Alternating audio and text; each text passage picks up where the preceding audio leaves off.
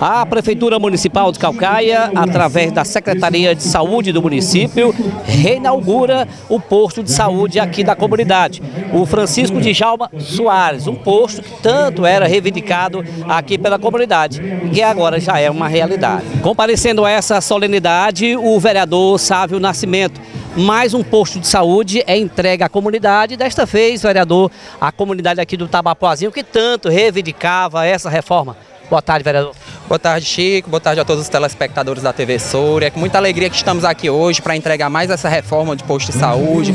Posto de saúde totalmente reformado, com sala odontológica nova, com equipamento de eletrocardiograma. Então são várias coisas que foram implantadas além da reforma aqui no posto de saúde e que isso quem ganha com, com certeza é a população de Calcaia. A gente está vendo aí nas imagens, vai tra trazer conforto também, vereador? Também, claro, para o profissional, o servidor aqui do posto de saúde. Além do conforto para a população, né, que a gente teve aqui vendo a reforma, a requalificação do posto de saúde, a gente vê também aí o conforto para os profissionais, para os médicos, para os enfermeiros, para os técnicos, auxiliares, para o pessoal do serviço, é, os vigias. Então, assim, é muito benefício que nós estamos vendo aqui hoje com a reforma, com a requalificação desse posto de saúde, os profissionais dentistas também que estão com sala nova, eu pude constatar em loco. Então é muita felicidade que nós estamos aqui hoje entregando mais essa obra da Prefeitura Municipal de Calcaia, na pessoa do prefeito Vitor Valim. A gente parabeniza e deixa aqui os parabéns, né? Que é para que ele possa aí, com certeza, for aparecendo mais recursos, fazer mais postos de saúde. Essa, eu sei que essa é a vontade do prefeito Vitor.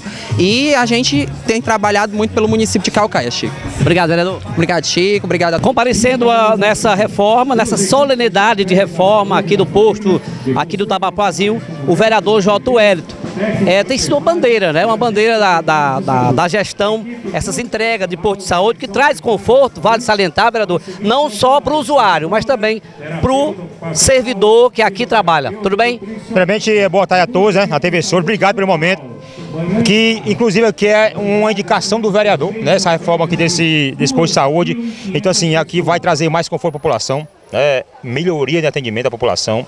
E aqui e hoje o Tabapuá e o Tabapuazinho não se resume só nessa reforma desse posto, né? Daqui uns dias nós estamos entregando aqui também uma indicação desse vereador, o Casuzão, né? O Casuzão que é, eu sempre dizia que é um, era um elefante branco, né? Ele está sendo entregue, está sendo entregue.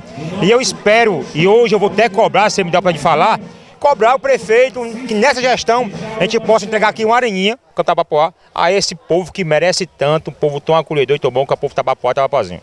Re requerimento de Vossa Excelência? Foi o pedido de Vossa Excelência? Aqui é uma indicação do vereador J.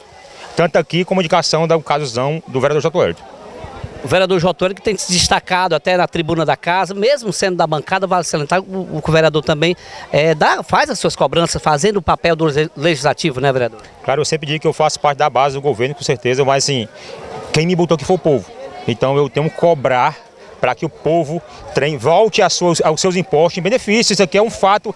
Enquanto eu tiver na casa, eu irei cobrar, sendo sempre base do governo, mas eu irei cobrar, como eu disse. Quem me colocou aqui e quem vai me tirar é o povo, dependendo deles, próximo ano. Obrigado, vereador. Sorte. Eu que sou grato. Obrigado a vocês.